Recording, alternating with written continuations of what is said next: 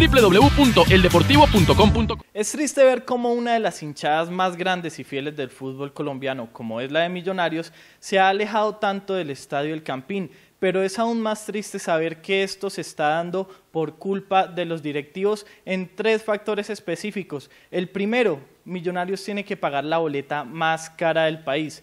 Seguramente esto incomoda mucho al hincha embajador. Por otro lado, la nómina actual del cuadro embajador no es la misma de otros años, no es competitiva y esto desencanta al hincha. Y por último, no se está informando a tiempo lo que sucede en el equipo y los hinchas a toda hora tienen que estar suponiendo cosas, lo cual también genera cierto malestar dentro de la fanática embajadora. ¿Cuál es el mensaje para las directivas que piensen en 2020, que intenten cambiar esta situación? Porque seguramente Millonarios por reclasificación estará en torneo internacional y lo que queremos es ver el cambio Como mejor luce, azul y blanco.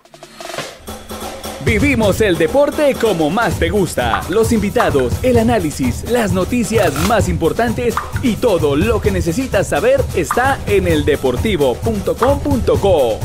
Descarga nuestra aplicación y entérate de mucho más. Disponible para Android y iOS.